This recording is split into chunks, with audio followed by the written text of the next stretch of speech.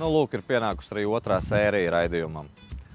Nekur tālu no Rīgas neesam tikuši, tikai kādus 22 km golfa laukumā. Girts tur mēģināja saprast, kāda ir tehnika uz golfa laukuma. Savukārt Gatis, Gatim bija jādodas uz kāzām šonadēļ, tāpēc viņš no drauga aizņēmās motoroleru. Protams, ka viņu vajadzēja kaut kādā veidā uzfrišināt, tāpēc viņš devās pie speciālista Anģis. Kalvis ar Rendu šobrīd atrodas uz kādas jahtas. Tur viņu satikuši jahtas īpašnieki un mēģina uzzināt visu par jahtu, par sadzīvi, par burāšanu, par sacensībām, par tehniku. Uz ielas satikām Mārtiņu Sirmo. Nu, parunājāmies, uzdevām pāris jautājumus.